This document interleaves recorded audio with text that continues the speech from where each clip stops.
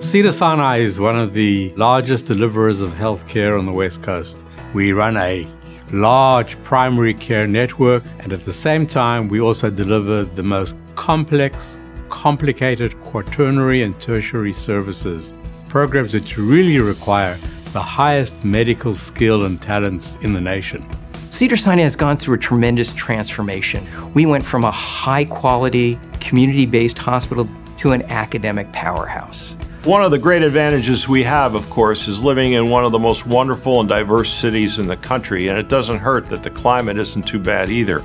We are blessed by a great environment, intellectually as well as personally, and that allows us to have the very brightest trainees who make our chances for continuing to push things forward and innovate even greater.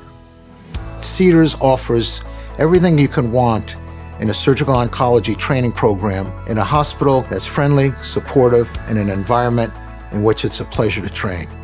I knew I was going to get exposed to every and anything that could possibly be out there to prepare myself for practice on my own with the way Cedars is set up, it's it's basically a, a, trauma center, but at the same time, it's really a tertiary center that accepts very complex things. So you get both aspects of basic surgical oncology, complex surgical oncology, and then the intertwined relationship between all of the multidisciplinary specialties here really gives you a true understanding and a different approach to patient care. Cedars-Sinai has practically, uh, you know, 900 plus beds with multiple operating rooms, multiple floors of 24 room ICUs with world-class care that's provided in, you know, each of those specific areas. Cedars-Sinai is recognized nationally as one of the top 10 cancer hospitals in the United States. The Department of Surgery is one of the highest funded departments of surgeries in the nation. The experts in surgical oncology at Cedars have so much knowledge and so much experience, not only in running clinical trials, but also in patient care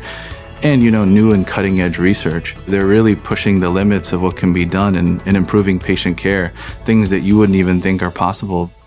Really the more you prove you can do the more they allow you to do. And so it's up to you as an individual to showcase what you're capable of. And if you're capable they let you have almost complete autonomy.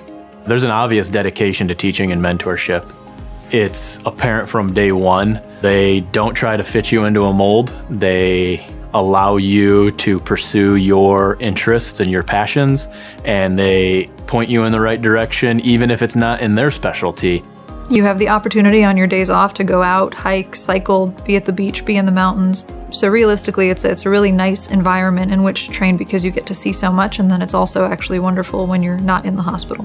If you want to train with world-renowned leaders in surgical oncology, you want to live in an amazing environment with amazing weather and with a wide breadth of different types of patients from basic to complex, I think Cedars really gives you all of those things, and that really will make you into a true surgical oncologist. And I really think that that's something that's unique to Cedars.